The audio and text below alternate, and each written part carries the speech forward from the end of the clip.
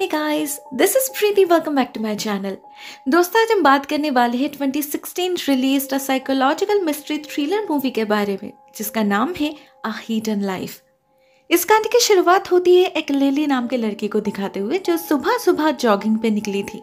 रोज की तरह अपने यूजुअल रास्ते का चक्कर काट रही थी वो। ऐसे में अचानक ही उसे थोड़ा अजीब फील होने लगता है। ऐसा लगता है जैसे कोई उसका पीछा कर रहा है। इनफैक्ट म्यूज़िक बंद करके कुछ देर इधर उधर नज़र भी डालती है लिली और जैसे ही वो पीछे मुड़ती है, उसका शक सच साबित हो जाता है। पेड़ के पीछे से एक अनजान आदमी झपट पड़ता है उस पर। उसे हर्ट करने की कोशिश करने लगता है। अब कोई भी ऐसे सडन अटैक के लिए प्रिपेयर तो नहीं रहता। लिली भी नहीं थी। उसकी तो हालत ही खराब हो जाती है। वो किसी तरह खुद को संभालती है और ज़ोर ज़ोर से चिल्लाने लगती है इस उम्मीद में कि कोई आए और उसे बचा ले। मगर उसे ये भी पता था कि इसका चांस बहुत कम है, क्योंकि ये रास्ता बिल्कुल ही आउटस्कर्ट एरिया में पड़ता है। कौन आएगा यहाँ? बट फॉर्चुनेटली उस दिन कोई और भी था वहाँ। एक और बंदा, जो शायद लिली की ही तरह जॉगिंग करने आया था। लिली की आवाज़ से वो सही समय सही जगह जा पहुँचता है और उस अटैकर को पकड़ के रखता है, जिससे लिली भाग सके। इससे लिली जान से तो बच जाती है, मगर उसे उस लड़के को थैंक्स कहने का मौका नहीं मिलता। लिली डायरेक्टली पुलिस स्टेशन जा पहुँचती है और एक रिपोर्ट लॉन्च करती है। उसकी माँ जेनिफर भी उसके साथ आई थी। ऑफिसर चार्ल्स जो उनके फैमिली फ्रेंड भी थे, वो बहुत ही ध्यान से सारी डिटेल्स नोट डाउन कर लेते हैं और प्रॉमिस भी करते हैं कि जितना जल्दी हो सके वो उस आदमी को ढूंढ निकालेंगे। मगर यहाँ प्रॉब्लम ये थी कि लिली अपने अटैकर की कोई डिटेल्स दे नहीं पाती, क्योंकि उसका चेहरा तो कवर्ड था। वो कैसा दिखता है, उसका कोई आइडिया नहीं था लिली को। बस उसने हमले के वक्त उसका हाथ काट लिया था तो लिली के कपड़ों पर उस आदमी का थोड़ा सा खून लग गया था। इसके अलावा क्राइम स्पॉट से पुलिस को और कुछ नहीं मिलता जिससे उसे ट्रेस किया जा सके। ऐसे में उसे आइडेंटिफाई करने का बस एक ही उपाय था। वो लड़का लिली का सेवियर अगर वो आकर पुलिस को अपना स्टेटमेंट दे दे तो शायद कुछ मदद मिल जाए। फ़िलहाल, पुलिस से जितना हो सकता था वो कह रहे थे। तो लिली भी अपने माँ के साथ घर लौट जाती है, मगर उसे पता नहीं चलता अभी भी कोई छुपकर उस पर नज़र रख रहा है। मतलब खतरा भी टला नहीं। उधर घर जाकर भी चैन नहीं मिलता लिली को। वो इतना घबराई हुई थी कि उसे बार बार वही सीन नज़र आ रहा था। डर से तो बेचारी सो तक नहीं पाती। ऊपर से अगले दिन उससे मिलने आता है स्कॉट, उसका एक्स बॉयफ्रेंड वो लिली का हाल जानने आया था और उस बहाने अपने रिश्ते को रिवाइव करने की कोशिश भी कर रहा था। लेकिन लिली को उसमें और कोई इंटरेस्ट नहीं था, जो वो ऑलरेडी उसे इन्फॉर्म कर चुकी थी। लेकिन स्कॉट को ना सुनना पसंद नहीं था। वो इतना अग्रेसिव हो जाता है कि लिली के घर में उसी पर हाथ उठाने जाता है। थैंकफुली लिली की माँ जेनिफर तब वहाँ प्रेजेंट थी, जिससे बात संभल जाती है और स्कॉट भी चुपचाप वहाँ से निकल जाता है। लेकिन वो लिली का पीछा करना बंद नहीं करता। लगातार कॉल करके उसे डिस्टर्ब करता रहता है। ऐसे में लिली को कोई ऐसा चाहिए था जिससे बात करके वो अपना मन हल्का कर सके। वो सारी बातें शेयर कर सके जो वो अपने माँ से नहीं कर सकी।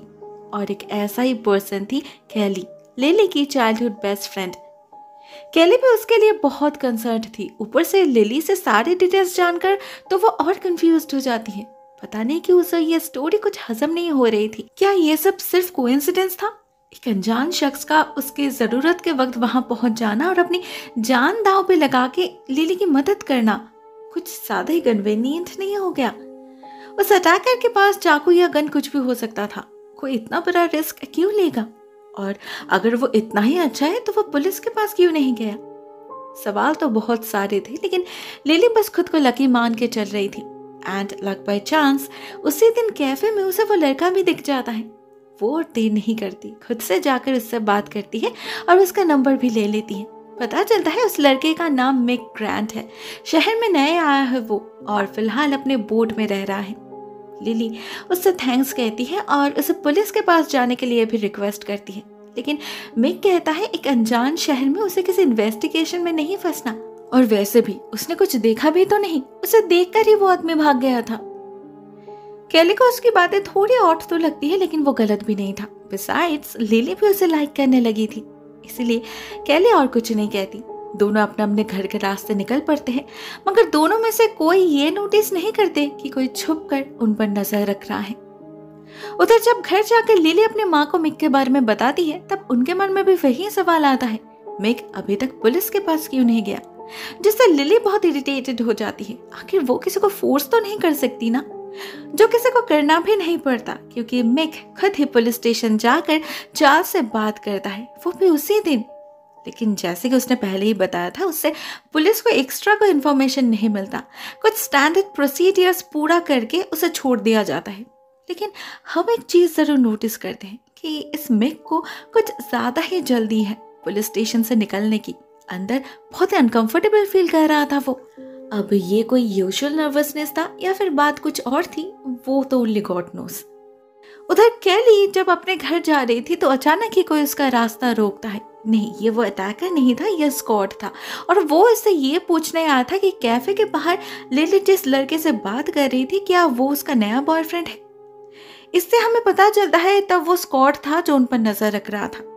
कैली से मेक के बारे में जानकर वो सबसे पहले एक प्राइवेट डिटेक्टिव को हायर करता है और मेक का बैकग्राउंड चेक करने के लिए कहता है। आखिर उसे भी तो पता चले कि मेक उससे कितना बेहतर है। दूसरी तरफ़ अगले दिन सुबह लिली फिर से जॉगिंग पर निकलती है, काफ़ी दिनों बाद। लेकिन दो कदम चलते ही उसे पैनिक अटैक आ जाता है। वो भागकर घर लौट आती है और कैली को कॉल करके सब कुछ शेयर करती है। ऐसे में उसे अचानक फील होता है कि खिड़की के बाहर कोई है। लेकिन चेक करने पर उसे कोई नहीं दिखता। उधर कुछ देर बाद दरवाजे की घंटी बजती है और दरवाज़ा खोलने पर लिली को मिलता है एक बहुत बड़ा सरप्राइज़, क्योंकि बाहर में खड़ा था। लिली ने बस एक बार ज़िक्र करी थी अपने एड्रेस की जो उसे याद रहा। अपने साथ एक गिफ्ट भी लेकर आया था वो, एक एमपी थ्री प्लेयर क्योंकि लिली ने उसे ये कहा था कि उस हमले में उसका प्लेयर टूट गया था।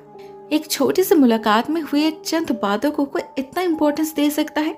ये देखकर बहुत अच्छा लगता है लिली को। कितना केयरिंग है ना ये बंदा, और सेंसिटिव भी। पहली मुलाकात में ही उसने लिली का दिल जीत लिया था, और उससे बात करके जेनिफर भी पिघलने लगी थी। लेकिन एक माँ तो आखिर माँ होती है ना, हज़ारों सवाल पूछने लगती है वो, जिनके जवाब में हमें मिक का कुछ पर्सनल डिटेल्स मिलता है। जैसे मिक बेसिकली ईस्ट कोस्ट से है, वहीं पर अपने पेरेंट्स के साथ रहता था वो। लेकिन एक साल पहले उसके दोनों पेरेंट्स की अचानक मौत हो गई तो उसने भी घर छोड़कर अपना बोट लेकर निकल पड़ा। फ़िलहाल वो कोई काम नहीं करता, अपने पेरेंट्स के पैसों से ही चल रहा है उसका। बट इन फ्यूचर वो एक राइटर बनना चाहता है तो अभी उसी की कोशिश चल रही है। अब ये राइटर वाली बात जेनिफर को बहुत पसंद आती है, क्योंकि वो खुद भी एक राइटर है, वो भी ट्रू क्राइम स्टोरीज की। अपने काम को लेकर काफ़ी पैशनेट है वो और काफ़ी सक्सेसफुल भी। इनफैक्ट उनके मदद से तो कुछ क्लोज्ड केसेस भी सॉल्व हो पाए थे। उनकी बेस्ट सेलिंग किताब double murder in the Crown Hill वो तो असल में एक कोल्ड केस था। पुलिस खुनी को ढूंढ ही नहीं पाई थी। लेकिन जेनिफर ने अपने रिसर्च के दौरान कुछ ऐसे एविडेंसेस को ढूंढ निकाली, जिससे फाइनली इस केस को एक एंड मिला। कल्प्रिट पकड़ा गया और लास्ट ईयर ही उसे सजा भी मिली। तो अब एक ऐसे इंसान के कांटेक्ट में आकर मिक तो खुश होगा ही ना। लिली से ज़्यादा तो वो उसके माँ से बातें कर रहा था। On the other hand Jennifer भी काफ़ी इम्प्रेस्ड हो चुकी थी। मिक का बर्ताव, उसका नेचर काफ़ी पसंद आता है उन्हें। एटलीस्ट स्कॉट से तो कई गुना बेहतर है वो। इसलिए लिली को उसके करीब जाते देख कोई प्रॉब्लम नहीं होती उन्हें। मगर कोई और ज़रूर था जिससे शायद प्रॉब्लम हो रही थी। उनके अनजाने में कोई उन पर नज़र रख रहा था। उधर सबसे अनजान लिली अगले दिन मिक के साथ डेट पर जाती है और वहीं पर दोनों फ़र्स्ट टाइम किस भी करते हैं, जो कोइंसिडेंटली देख लेता है स्कॉट एक कोइंसिडेंस था, या इंटेंशनल वो तो नहीं पता, लेकिन उसी दिन से स्कॉट हाथ धोकर मिक के पीछे पड़ जाता है। लेकिन बहुत कोशिश करके भी उसे उसके बारे में कोई डिटेल्स नहीं मिलता। उसने जिस इन्वेस्टिगेटर को हायर किया था, वो भी कोई मदद नहीं कर पाता। सिर्फ़ ना वो कभी स्कूल गया, ना कोई जॉब किया इवन उसके नाम का तो कोई पार्किंग टिकट भी नहीं है। Strange it's almost like Mick exist ही नहीं करता। मगर क्यों? इतनी से क्रेजी किस बात की? एक्जैक्टली यही बात समझाने स्कॉट जाता है जेनिफर के पास, लेकिन वो उससे बहुत नाराज़ थी, इसलिए उसकी एक नहीं सुनती। मगर उसके बातों को कंप्लीटली डिनाई भी नहीं कर पाती जेनिफर आखिर सवाल लिली के सेफ्टी का था। मगर खुद लिली इस बात को समझ पाए तब ना। स्कॉट के बातों पर भरोसा करके वो मिक पर शक करना नहीं चाहती थी, और इसके लिए वो अपने माँ से भी लड़ जाती है। उसे लगा था एटलीस्ट कैली उसका साथ देगी, मगर वो तो पहले से स्केप्टिकल थी। वो लिली को रोकते तो नहीं क्योंकि वो रुकने वाली थी नहीं तो बस केयरफुल रहने के लिए कहती है। मगर प्यार में सही गलत का फ़र्क कर पाना इतना आसान तो नहीं होता। इसीलिए लिली का सारा गुस्सा जा गिरता है स्कॉट पर। वो क्लब में जाके उसके सारे दोस्तों के सामने बहुत इंसल्ट करती है उसकी और उससे दूर रहने के लिए भी कहती है। मगर स्कॉट इस इंसल्ट को आसानी से हजम नहीं करता। वो अग्रेसिवली लिली पर चिल्लाने लगता है और फिजिकली उसे हर्ट करने की कोशिश भी करता है। थैंकफुली ठीक यही समय मिक वहाँ जा पहुँचता है और लिली को बचा लेता है। मगर इसका आफ्टर इफ़ेक्ट भयानक होता है। स्कॉट अपना गुस्सा उस पर निकालता है और दोनों में हाथापाई शुरू हो जाती है और जब लिली उन्हें रोकने जाती है तो स्कॉट गलती से उस पर भी हाथ उठा देता है। अब भले ही ये एक एक्सीडेंट था अनइंटेंशनल था, मगर इससे लिली स्कॉट से और नफरत करने लगती है। मामला सुलझने की जगह और बिगड़ जाती है और स्कॉट का फ्रस्ट्रेशन भी दुगना हो जाता है। उधर उसी शाम जेनिफर के साथ भी एक हादसा होता है। जब वो अपने ऑफ़िस में काम कर रही थी तो हमें घर के बाहर एक अनजान शख्स दिखता है। उस पर नज़र रखते हुए उसने भी ब्लैक हुडी पहना था और दिखने में बिल्कुल उसी अटैकर की तरह लग रहा था जिसने लिली पर हमला किया था। तो क्या अभी उसका शिकार जेनिफर बनने वाली है? हम देखते हैं वो बहुत ही इजीली घर के पीछे वाले दरवाजे से घर में घुस जाता है और एक रस्सी से जेनिफर को स्ट्रैंगल करने लगता है। बेचारी जेनिफर हेल्पलेसली छटपटा रही थी वो। लिली भी घर में नहीं थी। वो गई थी कैली के पास अपने घाव का इलाज करने। बट सही समय घर लौट भी आती है वो, और शायद उसे देखकर ही वो अटैक कर भाग भी जाता है। तब तक जेनिफर बेहोश हो चुकी थी। तो लिली ही पैरामेडिक्स को कॉल करती है और साथ में चार्ल्स को भी। पुलिस आती है, पूरे घर की तलाशी ली जाती है, और उसे सर्च के दौरान उन्हें एक फ़ोन मिलता है जो शायद अटैकर का हो सकता था। तो उसे फोरेंसिक के लिए भेज दिया जाता है। इधर तब तक जेनिफर का होश भी लौट चुका था, जो एक बार देखते ही लिली के घाव को पहचान लेती है। भले ही वो बार बार कहती है, ये एक एक्सीडेंट था, मगर जेनिफर नहीं मानती। मजबूरन लिली को स्कॉट का नाम बताना ही पड़ता है, और उधर चार्ल्स को भी उस फ़ोन के ओनर का नाम पता चल जाता है, जो कोई और नहीं, खुद स्कॉट ही था। इनफैक्ट उस फ़ोन में तो कुछ ऐसे फ़ोटोज़ भी थे, जिससे क्लियरली पता चल रहा था कि वो पिछले कई दिनों से लिली को स्टॉक कर रहा है। और उस दिन सुबह उस पर हमला भी शायद स्कॉट नहीं किया था। और थोड़ा ढूँढने पर उन्हें स्कॉट के गाड़ी से वो ब्लैक हुडी भी मिल जाता है, जिसे लिली और जेनिफर आइडेंटिफाई कर पाते हैं। किसी को समझने में देर नहीं लगती, ये पूरा खेल ही स्कॉट के जेलिस का था। लिली उसे इग्नोर कर रही थी, ये शायद उससे सहन नहीं हुआ। उसने ज़रूर उसे डिस्टर्ब करने के लिए ये सब प्लान किया होगा। और लिली की लाइफ में मिक के एंटर करने के बाद तो उसकी जेलसी और बढ़ गई। आज सुबह जो कुछ भी हुआ, उससे वो समझ गया कि वो सामने से मिक का कुछ बिगाड़ नहीं पाएगा। शायद इसीलिए उसने ये रास्ता चुना। वैसे भी जेनिफर पर उसका गुस्सा तो बहुत पहले से था। उसने उसे घर से निकाल जो दिया था। और उसके बेटी ने आज सबके सामने उसका इंसल्ट किया तो हो सकता है अपनी ह्यूमिलेशन का बदला ले रहा हो स्कॉट। कारण बहुत कुछ था। साथ में एविडेंस भी। तो इधर स्कॉट को अरेस्ट किया जाता है और उधर उस हुडी को भेजा जाता है डीएनए टेस्ट के लिए। इसी बीच एक और कांड होता है। पुलिस को एक पार्क से एक अनजान शख्स की लाश मिलती है। अब देखकर तो लग रहा था कि उसने एक्सेसिव ड्रिंक करके सुसाइड करी थी, क्योंकि उसके पास एक बॉटल पर आ था। मगर एक्चुअल रीजन ऑटोप्सी के बाद ही पता चलेगा। तो वो जब तक उसका रिज़ल्ट नहीं मिल जाता चार्ल्स स्कॉट के खिलाफ सारे एविडेंसेस कलेक्ट करने में लग जाता है, क्योंकि उसे पता था कि स्कॉट एक काफ़ी रिच एंड इन्फ्लुएंशियल फैमिली से बिलोंग करता है। उसके गुनाह साबित करने के लिए उसे किसी ठोस सबूत की ज़रूरत होगी, और उसका डीएनए टेस्ट ही होगा, वो सबूत।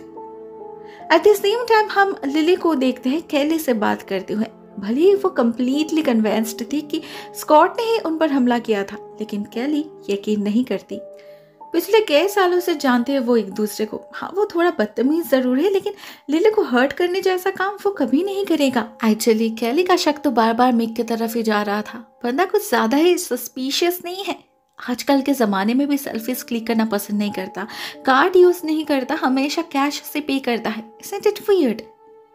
लिली को तो ये सब नहीं दिख रहा था, मगर कैली चोरी छुपे अपना इन्वेस्टिगेशन स्टार्ट कर देती है।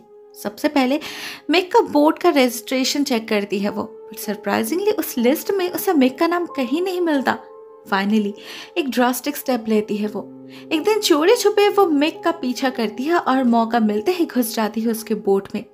उसे मेक की किसी पर्सनल डॉक्यूमेंट्स की तलाश थी आईटी जैसा कुछ। लेकिन बहुत ढूँढने पर भी उसे ऐसा कुछ नहीं मिलता। फाइनली क्लोजेट के अंदर एक सीक्रेट लॉकर से उसके हाथ लगती है एक किताब। और ये कोई रैंडम बुक नहीं थी, ये जेनिफर का बेस्ट सेलिंग नॉवल था double murder in the Crown Hill उसी के अंदर केली को मिक का आईडी भी मिल जाता है, जिस पर उसका नाम लिखा था माइकल ग्रेंजर साथ में कुछ फ़ोटोज़ भी थे जेनिफर और लिली के, और इनमें से कुछ फ़ोटोज़ तो कई महीने पहले की थी, जब मिक से उनकी मुलाकात भी नहीं हुई थी। फिर ये फ़ोटोज़ उसके पास कैसे आए? इसका जवाब ढूँढने में कैली को ज़्यादा वक्त नहीं लगता, क्योंकि जवाब बिल्कुल उसके सामने ही था। ये किताब, जो कि सिर्फ़ कोई रैंडम कहानी नहीं थी, बल्कि हकीकत थी। यही वो केस है जिसमें खूनी को जेनिफर ने ढूंढ निकाला था। पुलिस ने नहीं ऑलमोस्ट तेरह साल बाद केस को रीओपन करके मौत की सजा दिलवाई थी उसने खूनी को, जो कोई और नहीं, माइकल ग्रेंजर के फादर थे। The famous Crown Hill killer और अगर इस आईडी के मुताबिक मिक का असली नाम माइकल ग्रेंजर हो तो इसका मतलब मिक इस खूनी का बेटा है। तो इसीलिए वो लीली के पीछे पड़ा है, जिसके ज़रिए वो जेनिफर से बदला ले सके। उनके लाइफ में इतना सब कुछ सिर्फ़ उसी के कारण हो रहा है। केली को सब कुछ समझ आ चुका था, और उसी वक्त वो लिली को भी वार्न करना चाहती थी, मगर उसे वो मौका नहीं मिलता। मेक उसे देख लेता है और वहीं पर चोक करके उसे मार भी डालता है। मगर इस सब के बीच उसे पता नहीं चलता कब लिली ने कॉल किया और कैली ने छुपके से उसे रिसीव कर ली। भले ही बाद में फ़ोन के गिरने से कॉल कट चुका था, मगर तब तक लीली को समझ आ चुका था कि उसकी बेस्ट फ्रेंड खतरे में है। वो उसी वक्त भागकर कैली के घर जा पहुँचती और वहाँ से डायरेक्टली पुलिस स्टेशन उधर in the mean time Charles को पता चलता है स्कॉट बेकसूर है, क्योंकि हमले के वक्त पूरा समय तो वो क्लब में था। सीसीटीवी फुटेज है उसके सबूत। दूसरी तरफ़ उसका डीएनए उस हुडी में मिले डीएनए से मैच बिल्कुल भी नहीं कर रहा था। और जिससे मैच कर रहा था, उसका इस केस से कोई लेना देना ही नहीं था। या फिर था। पुलिस को पता चलता है, ये हुडी असल में उस होमलेस वैगाबॉन्ड का है, जिसकी लाश उन्हें कल सुबह मिली थी। और लिली के कपड़ों पर जो खून लगा था, वो भी इसी का है। लेकिन वो कोई नॉर्मल सिटीजन नहीं है, बल्कि एक क्रिमिनल है। बस दो साल पहले जेल से निकला है वो। तो उसका इस केस से रिलेटेड होना कोई आम बात तो नहीं हो सकता। तो क्या कोई उसके ज़रिए ये सब करवा रहा था? इसे पता करने का बस एक ही उपाय था। चार्ल्स उसके पास मिले सारे सामान को फिंगरप्रिंट टेस्ट के लिए भेजता है स्पेशली उस शराब के बोतल को, क्योंकि वो काफ़ी महँगा था, इस आदमी की हैसियत से बाहर। तो ज़रूर उसे किसी ने खरीद कर दिया होगा। मे बी जिसने उसे ये काम दिया था उसने। ये एक वाइल्ड गैस था, मगर आखिर में यही काम आ जाता है। उस बॉटल से मिले फिंगरप्रिंट्स मिक के फिंगरप्रिंट से परफेक्टली मैच कर रहा था। वही असली कल्प्रिट था, स्कॉट नहीं। शायद इसीलिए पुलिस स्टेशन आना नहीं चाहता था वो, और स्टैंडर्ड प्रोसीडियर के नाम पे फ़ोटोज़ क्लिक करना फिंगरप्रिंट्स देने में भी दिक्कत हो रही थी उसे। शायद अपने प्लान को कुछ ज़्यादा ही फुल प्रूफ बनाने की कोशिश में था मिक लेकिन आखिरकार उसकी चोरी पकड़ी गई। लिली के लिए ये सच यकीन करना मुश्किल हो रहा था। शायद इसीलिए मिक जब उसे कॉल करता है, वो और अपने आप को होल्ड नहीं कर पाती। डायरेक्टली उसे अक्यूज करती है और कैली के बारे में भी पूछती है। इससे मिक अलर्ट हो जाता है और अपना फ़ोन भी तोड़ देता है जिससे पुलिस और उसे ट्रैक न कर पाए। उधर चार्ल्स लिली को एक ऑफिसर के साथ घर भेज देते हैं, जिससे वो उन पर नज़र रख सके और खुद जाते हैं मिक को ढूँढने, उसके बोट पे। वहाँ उसे मिक तो नहीं मिलता, लेकिन कैली की लाश ज़रूर मिल जाती है। दूसरी तरफ़ स्कॉट कस्टडी से आज़ाद हो चुका था। तो ऐसे में उसे अपने प्राइवेट डिटेक्टिव से एक मैसेज मिलता है कि उसे मिक के बारे में कुछ एक्सक्लूसिव इन्फॉर्मेशन मिला है। तो जितना जल्दी हो सके स्कॉट उनके ऑफ़िस आ जाए। अब इसे देखकर तो स्कॉट का दिल गार्डन गार्डन हो जाता है और इमीडिएटली वो उसके ऑफ़िस भी जा पहुँचता है। उसे लगा था ज़रूर कुछ धमाकेदार होगा, जिससे वो मिक को लिली के सामने नीचा कर पाएगा। लेकिन वहाँ जाने पर उसे उस डिटेक्टिव की लाश मिलती है। और मिलता है मिक, जो उसी के लिए इंतज़ार कर रहा था। पता चलता है, ये मैसेज तो एक्चुअली एक ट्रैप था स्कॉट को यहाँ लाने का, ताकि वो ये साबित कर सके कि स्कॉट ने इस डिटेक्टिव को पैसा दिया था मिक के खिलाफ नकली सबूत फोर्ज करने के लिए। वो सब डीएनए फिंगरप्रिंट का खेल सब नकली था स्कॉट का प्लान था। उस डिटेक्टिव को तो मिक ने ऑलरेडी मार दिया था। अब स्कॉट को भी मार डालता है, वो भी कुछ इस तरह से, जिससे लगे कि यह एक सुसाइड है। अब सुसाइड क्यों? उसका पता हमें आगे चलेगा। एक्चुअली ये उसके प्लान का फ़र्स्ट स्टेप था। आधे से ज़्यादा स्टेप्स तो अभी बाकी है। तो फ़िलहाल स्कॉट के लाश को छुपा के मिक जाता है लीली के घर। उसका ब्रेन वॉश करने, वहाँ जो ऑफिसर उन्हें गर्ड कर रहे थे, उसे बीमार डालता है वो। और फिर कॉल करता है लिली को। उसे कहता है, ये सब एक साजिश है। उसे फंसाया जा रहा है। लेकिन वो शायद भूल चुका था कि यह फ़ोन उसका नहीं है, कैली का है। अगर उसने सच में कुछ किया नहीं होता तो उसके पास कैली का फ़ोन कहाँ से आया? इस बात की भनक लगते ही मिक की आवाज़ अचानक ही बदल जाती है और पागलों की तरह घर में घुसने की कोशिश करने लग जाता है वो।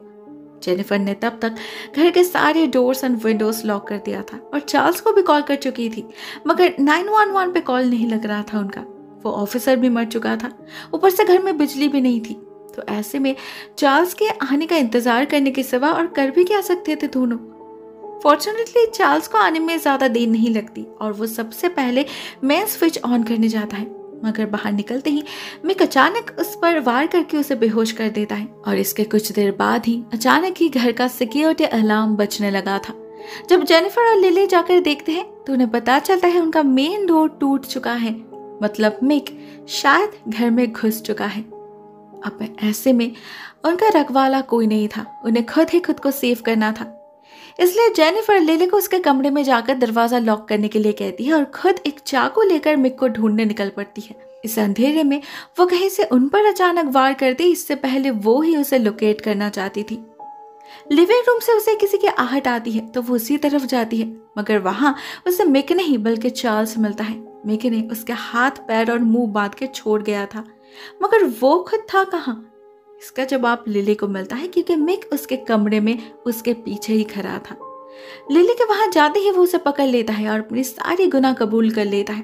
उसने लिली को कितने दिनों से स्टॉक किया, कैसे सारा प्लान रेडी किया और कैसे धीरे धीरे स्कॉट को अपने जाल में फंसा कर उसे स्केपकोट बनाकर अपने प्लान को अंजाम दिया। उसी ने तो उसके फ़ोन को चुराया था, जिससे उसमें लिली के फ़ोटोज़ डाल सके। और उसके गाड़ी के ट्रंक से जो हुडी मिली थी, वो भी उसी ने रखा था। यहाँ पर मिक ये भी एक्सेप्ट कर लेता है कि उस क्रिमिनल को भी उसी ने हायर किया था लिली पर अटैक करने के लिए, जिससे उसे उसके लाइफ में एंट्री मिल सके। और फिर उसका काम खत्म होने के बाद उसने उस आदमी को भी खत्म कर दिया, जिससे उसके रास्ते पर और कोई कांटा ना रहे। पिछले एक साल से सब कुछ प्लान किया था उसने और उसी हिसाब से एग्जीक्यूट भी किया। ये उसके प्लान का आखिरी पड़ाव था। तो अभी उसे सच्चाई एक्सेप्ट करने में कोई प्रॉब्लम नहीं थी, क्योंकि उसे पता था इसके बाद वो लिली को मारने ही वाला है। इवन उसकी माँ और चार्ल्स को भी कहीं कोई सुराग नहीं छोड़ेगा वो। मगर इस सब का दोष पड़ेगा बेचारे स्कॉट पर। उसके अग्रेसिव नेचर के बारे में तो ऑलरेडी सबको पता है तो सबको लगेगा स्कॉट ने अपने जेलसी के आग में पागल होकर इन सभी का खून किया और फिर खुद सुसाइड कर ली। आउट ऑफ़ रिपेंटेंस इससे मिक का रिवेंज भी पूरा हो जाएगा और उस पर कोई दाग भी नहीं लगेगा। प्लान बहुत अच्छा था, लेकिन ऐसा होता नहीं। जैसे मिक दरवाज़ा खोलता है, चार्ल्स अंदर घुसने जाता है और मिक उसे शूट कर देता है। उधर जेनिफर और लिली दोनों मिलकर हमला कर देते हैं मिक पर। उनमें हाथापाई होने लगती है, जिस चक्कर में उसके हाथ में थमा चाकू उसके अपने ही पेट में घुस जाता है और वहीं पर उसकी मौत भी हो जाती है। नेक्स्ट सीन, एक साल बाद की है।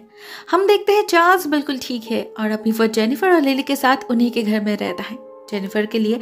उसके दिल में फीलिंग्स तो पहले से ही था, और पिछले साल उस हादसे के बाद जेनिफर ने भी इस रिश्ते को एक्सेप्ट कर लिया है, जिससे लिली बहुत खुश है। आफ्टर ऑल अपनी माँ को अकेले स्ट्रगल करते देखना उसे बिल्कुल भी पसंद नहीं था। उधर जेनिफर ने उस हादसे पर एक स्टोरी भी लिखी है, जिसके बदले उसे काफ़ी जेनरस अमाउंट मिला है। उस पर एक फ़िल्म जो बनने वाली है। मगर उसने डिसाइड कर लिया है कि यही उसका लास्ट ट्रू क्राइम स्टोरी था। इसके आगे वो फिर कभी इस जॉनर में नहीं लिखेगी। अपने परिवार के मामले में और कोई रिस्क लेना नहीं चाहती थी वो। दोस्तों, ये कहानी यहीं पर एंड हो जाती है। काफ़ी सिंपल स्टोरी थी, मगर इंटरेस्टिंग भी। आपको यह वीडियो कैसी लगी? Write down in the comment section आज के लिए बस इतना ही दोस्तों thank you so much for watching this video बहुत जल्द मिलते हैं किसी अन्य वीडियो के साथ। तब तक के लिए टेक केयर